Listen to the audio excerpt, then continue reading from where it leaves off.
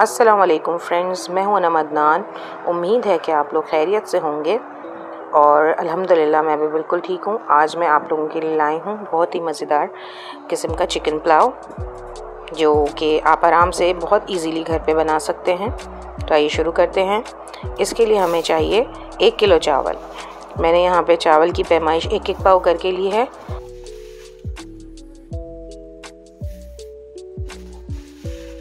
इसके बाद हम चावलों को बहुत अच्छी तरीके से धो लेंगे। ये मैंने चावल बहुत अच्छी तरीके से धो लिए हैं। धोने के बाद इसमें एक चम्मच नमक ऐड कर दिया। चावल को आप जितनी देर तक भिगाएँगे, वो उतना ही लंबा दाना बनेगा। तो नमक मिला के आप इसको साइड पे करके रख दें। अब हम आते हैं प्याज की तरफ़। इसको बारीक स्लाइसेस में काट लीजिए। पतीली में ऑयल डालें और इसको गर्म होने तक थोड़ी देर इंतज़ार करें। जब ऑयल आपका गर्म हो जाए तो इसमें आप अनियन ऐड करें, जो आपने स्लाइस काटी हैं। ये देखें, हमने आहिस्ता आहिस्ता अनियन ऐड करना शुरू कर दी है ऑयल में। अनियन हमने डाल दी हैं, इसको चम्मच से आप हिलाते रहें और इसके नरम होने का इंतज़ार कीजिएगा। हमें प्याज को ब्राउन नहीं करना, हमें इसको सिर्फ़ नरम होने का इंतज़ार करना है। जैसे आप देख रहे हैं, हमारी प्याज इतनी नरम हो गई है कि अब हम इसमें गरम मसाले ऐड करें।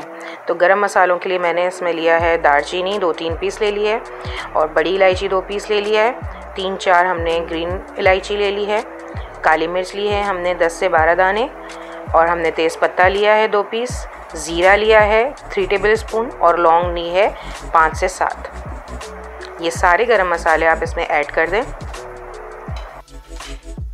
सारे गरम मसालों को आप इसी प्याज के साथ हल्के से फ्राई कीजिए, ताकि ये सारे मतलब समझ लिए कहते हैं कि गड़गड़ा जाएँ ऐसे कड़कड़ा जाने चाहिए सारे गरम मसाले।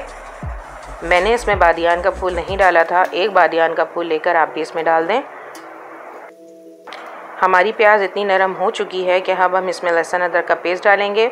ये मैंने जिंजर पेस्ट ले लिया वन टेबल स्पून और ये मैंने गार्लिक पेस्ट ले लिया वन टेबल स्पून अब ये दोनों डालकर आप इसको मसालों के साथ फ्राई करें।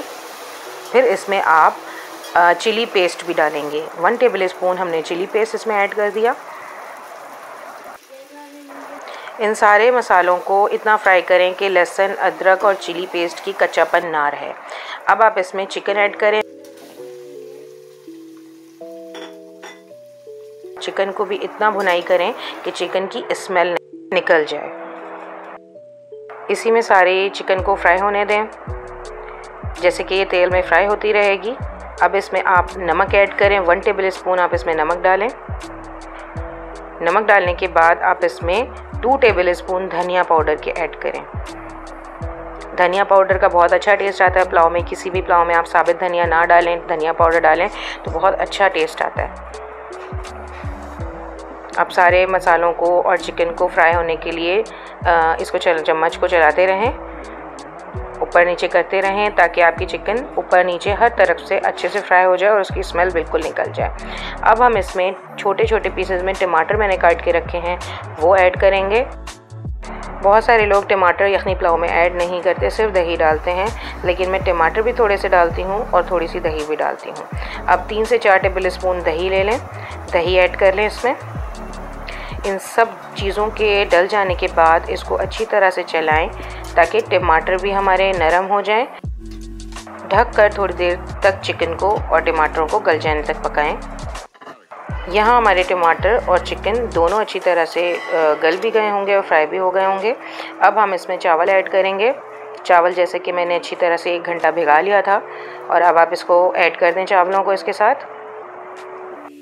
इसके बाद आप इसमें हसब ज़रूरत पानी डालें।